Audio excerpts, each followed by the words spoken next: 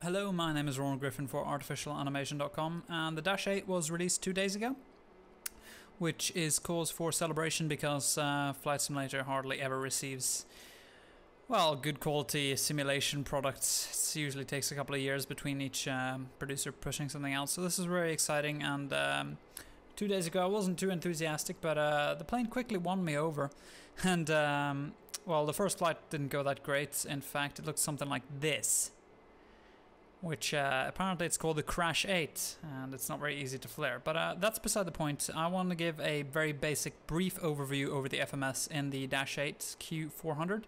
Um, I can't really assure that it's accurate. I'm just putting to use what I've learned over the past couple of days reading the manual. Yes, I know men don't usually use the manual. Um, that's where we go wrong a lot of the time, it seems, because I learned quite a lot from the manual and. Um, specifically the system overview, it was very useful to me. So uh, I'm just going to share with you what I've learned um, when it comes to the FMS and the FMS only. So I'm going to show you how to program a route and also how to clear an existing route that is already programmed uh, efficiently. And I'm also going to uh, show you how to clear up an error where uh, your whole route basically disappears until you direct to or uh, you fly the part of the leg. So uh, without further ado, I'm just parked up here at Sola in Norway, and uh, we're going to be uh, planning a route over to um, Aberdeen. And first of all, we want to switch on our FMSs, so uh, the on button handles that. Um, just click on, and they turn on. They run through self-tests in order to power up. And if you're wondering, that's not uh, my music in the background, that is the plane playing the boarding music, which is uh, pretty cool. Usually I have to use FS Flight Keeper or something else to play the sounds, but this just does it for me. Um, so that's pretty, uh, pretty nifty about this aircraft. As you can see, uh, we just passed all the tests. And the IRS, uh, as you load in, it's already on nav. And the IRS seems to have initialized already because we have our uh, ND and it's showing where we uh, are supposed to be. So we can just hit accept in the bottom left uh, LSK. And uh, first thing we're going to do is go into FPL. And um, as you can see, I've got a route here. And how we clear the routes is we click menu once we're in the flight plan page. And we click delete FPL once and then again. If you go back to FPL, it's gone. However, this plane works a bit differently than you'd expect. If you can look, we still have a waypoint. And that's because the nav still has um, our actual first waypoint. And to get rid of this, we click on it and type 99 in the scratch pad and hit enter. And that removes it. Now, if we look on the ND, we still have it. If we go back into FPL, type 99, hit enter, that's completely gone, and we're ready to start uh, our new flight plan. We have a flashing message box, we can click message, and that's just the GPS no RAIM message. We can click it again, and it'll uh, go away. So let's start, and the way you find uh, waypoints for the FMS, I'm using edi-gla.co.uk. Um, it's free, you sign up, and you get the database. It's a real-world ABS scanners that have picked it up. You can also use uh, programs like VRoute and uh, Route Finder, which can be found at rfinder. Uh, I think it's asalink.net. Um, but just Google for that if you want to find it. And I'm using this flight plan right here. We're going from Clon direct to Budon, direct to Trout.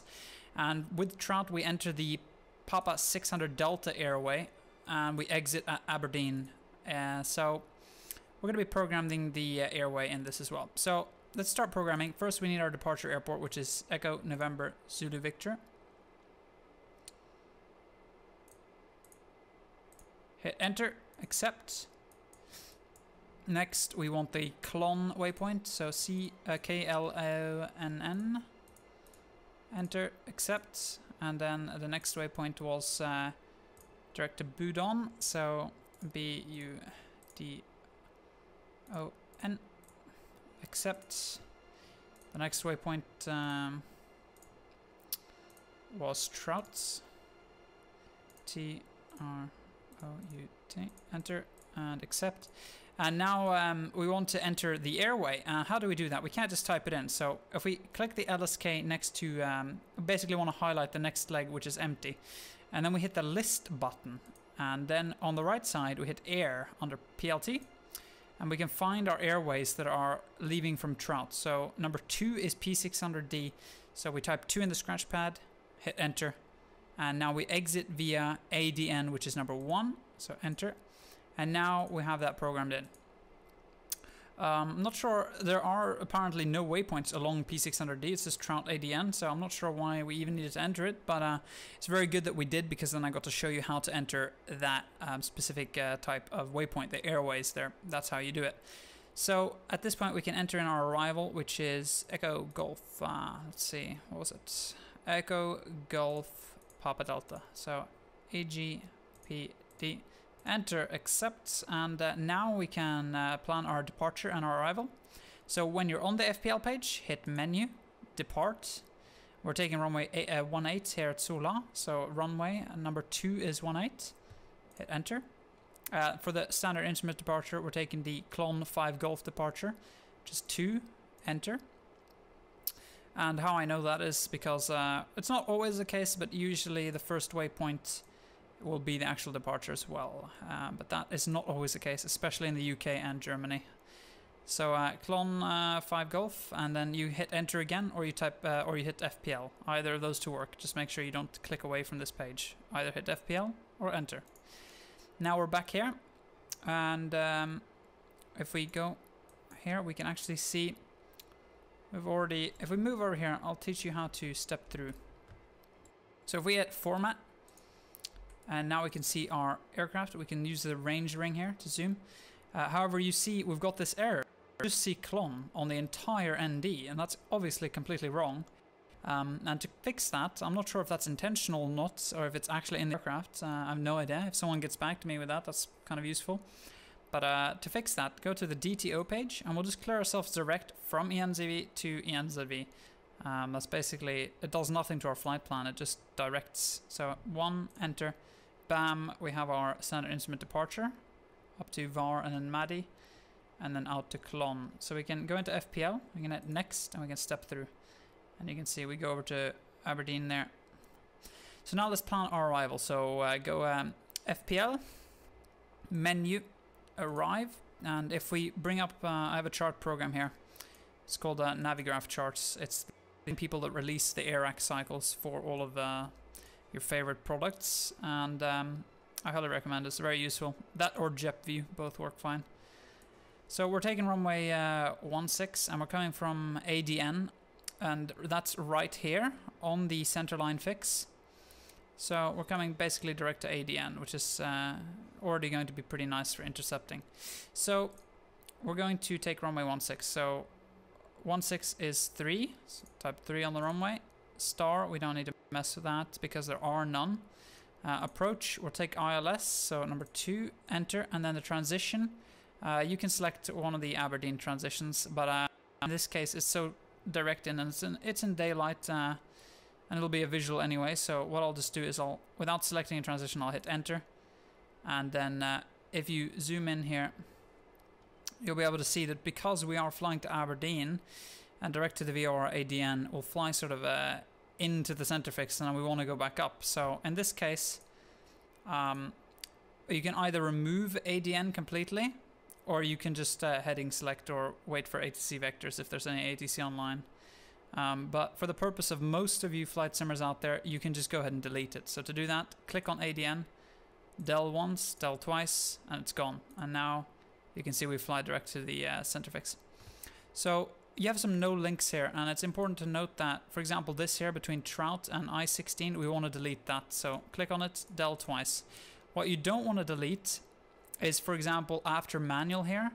This is uh, to do with the missed approach, and this automatically, this is like a discontinuity. It's a gap in your flight plan, and you can put in gaps by typing GAP. That's an actual gap that makes that no link happen. And the reason there's a gap there is because as soon as we enter the missed approach procedure, um, this link will automatically close. So we don't want to actually delete the thing after manual, but we will delete this between runway 16 and 620 feet. So del, and we'll just leave that one at 14. So at this point, we have our departure, and we can step through, and we have our arrival. And that's pretty much us planned. Now the uh, very important thing to do is to set this nav source here. If you're going to be flying with LNAV, set this nav source all the way to the left so that FMS1 comes up down here. That way, the navigation source is your FMS and it'll fly along the FMS. Um, one last word of, uh, I guess, warning is uh, if you expect this plane's L or VNAV to work the same way as you're used to if you're flying Boeings, um, don't. Just completely clear that idea out of your head because the VNAV in this plane is completely different. Uh, the plane doesn't have an auto throttle, as I'm sure some of you may know. And because of that, it's, uh, you know, you don't set up your perf and everything like the way you would in a Boeing. So from what I understand at this point in time, correct me if I'm wrong, please, um, but the FPL page is the single most important page you're going to be filling out. The rest is uh, apparently not used that all that often. The only thing that's really, uh, other than that, that's used a lot is VNAV, but that's once you're in flight and it calculates the top of descent based on the waypoint you want to go down to. So I hope this has uh, brought up some uh, good points for you and um, hopefully you've learned something. It's just a quick tutorial, by no means accurate to the real world. It's just what I've learned so far and I wanted to share it because there are a lot of people that uh, simply don't know how to fly the plane yet, which is completely understandable. And uh, there's a lot of documentation supplied with the plane, but other than that, there's really not much you can find on the internet. Not as much as a 737, 747 or something like that. So uh, I hope it's been uh, of some use to you. And if you do like the video, please like it, subscribe. I do make uh, aviation content quite a lot. So uh, until uh, next time, bye bye.